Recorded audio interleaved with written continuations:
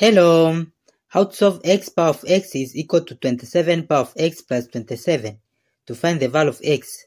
So from this equation, which is x power of x is equal to 27 power of x plus 27 is same as 27 power of x times 27 power of 27. Then in next step, we'll divide by 27 power of x in both sides.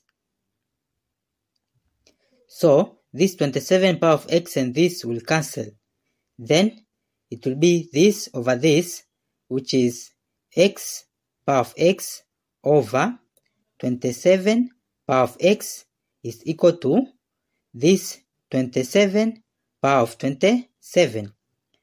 Then in next step, this power of x is common. So to be x over 27 bracket common power of x then is equal to 27 power of 27.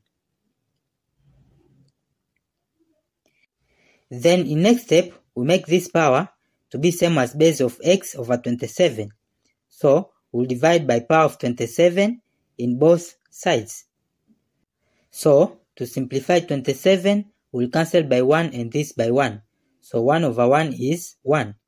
Then it will be x over 27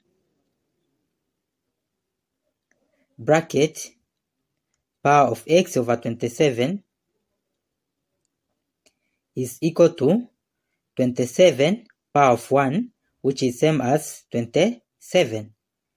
Then in next step it will be x over 27 bracket power of x over 27 is equal to 27 is same as 3 power of 3.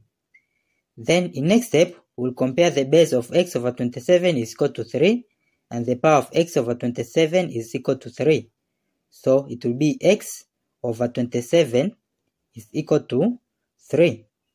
Then in next step, to find the value of x, we'll multiply by 27 in both sides. So 27 and this will cancel. Then it will be x is equal to 3 times 27 is 81. So this is the final answer for the value of x in this our problem. Thank you for watching. Don't forget these steps to miss out. Subscribe to my channel and see you in the next video. Bye bye.